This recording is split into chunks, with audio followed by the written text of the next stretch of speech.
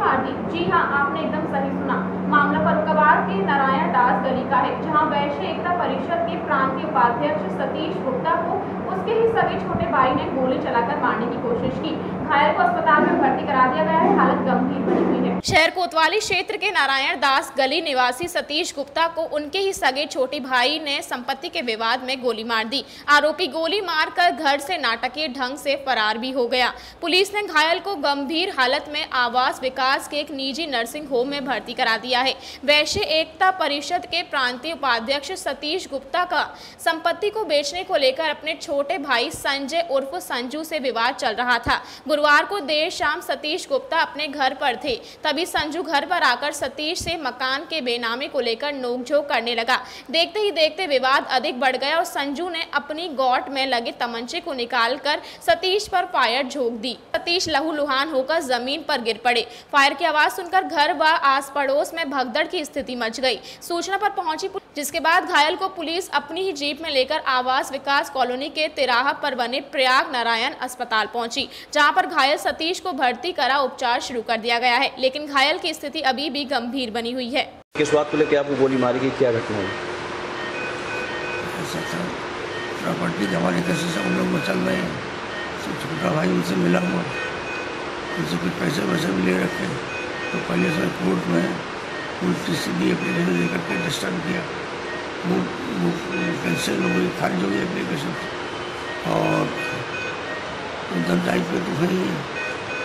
तो हम जिस बात में कहें, जैसा कि भाई खिलाफ पार्टी से मिला हुआ तो भाई उन्होंने माध्यम से सब लोग कम घर में आया, घर में रहता नहीं था।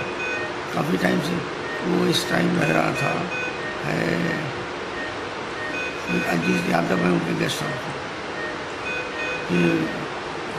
घड़िया घाट रोड पर थे घड़िया घाट और ये डॉक्टर हम लोग जाते हैं तो उधर रोड पर पड़ता है और उससे पहले वो कहीं रह रहा था तो आया कमरे में तो बात करेगा क्या करे कमरे के बाद बंद कर लिए तो हम उठे समय क्या कर रहे हैं बस उसने गोली चला दी मेरे किससे गोली मारी हैं संजय। नहीं किससे? किस तमंचा। ऊँचा था? हाँ। कौन सा था आपने देखा था? हाँ देखा ही था नहीं कौन सा तमंचा था? तमंचा था। बारह बोर का था या तीन सौ पंद्रह का? इतना बड़ा था। अच्छा अच्छा। और हाँ, हाँ, जब फायर हो गया तो मैं केवाड़ी खोलो। केवाड़ी बंद किया तो मैं शीशा तोड़ो। कहना इसे चेक नहीं खोलो। तो किसी ने घर के शीशा तोड़ा। और चेक नहीं खोली मेरे उस में फिर मेरी तबीयत बिगड़ने लगी। तो उसने दूसरा तमंचा भर लिया थी वो मेरे सीने पर यहाँ पर रख के हाथ के फायर के पिट बोले गया वो। फिर वो निकाल के तीसरा भरा। तीसरा फाइट करने में तो तुझे तमंचा छीन लिया। माँ थी भतीजी थी, भतीजी माँ थी छोटे भाई उससे वो थी। बोलने में मदद की आवाज़ दी तो, तो लोग आए नहीं फ़ाइल वाली थे तो हमने उसको पकड़ना चाहा कि पकड़ने घसीटने पुलिस सबसे आ जाए छोटा भाई जो था ये पुलिस को बुलाने गया फ़ोन भी किया। तो ऐसा घसीटी खूब हुई तो रहते हुए गोसाई पकड़ लिया। खरीदने हुआ दे गए हमने अल्लाह को यह पकड़ लिया तो घसीटा तो ये सब। घटना की सूचना पर फरुखाबाद पुलिस अधीक्षक दयानंद मिश्रा ने अस्पताल पहुंचकर परिजनों से बातचीत करके घटना के बारे में जानकारी ली। गोलीकांड हुआ है एक व्यक्ति थाना फरुखाबाद क्षेत्र में एक सतीश गुप्ता रहते हैं। मकान में इनके परिवारीजन ही रहते हैं। और बताते हैं कि इनका एक छोटा भाई है उससे इनका कुछ विवाद हुआ और उसने इनको गोली मार दी। गोली इनको पेट में लगी है अभी बता रहे हैं कब्जे से बाहर है। और जो रंजिश की बात है अभी बहुत क्लियर तो नहीं है लेकिन कुछ इसमें प्रॉपर्टी का विवाद बताया जाता है।